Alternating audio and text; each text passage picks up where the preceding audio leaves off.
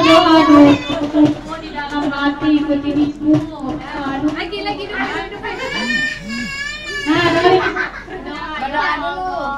Semoga kita sampai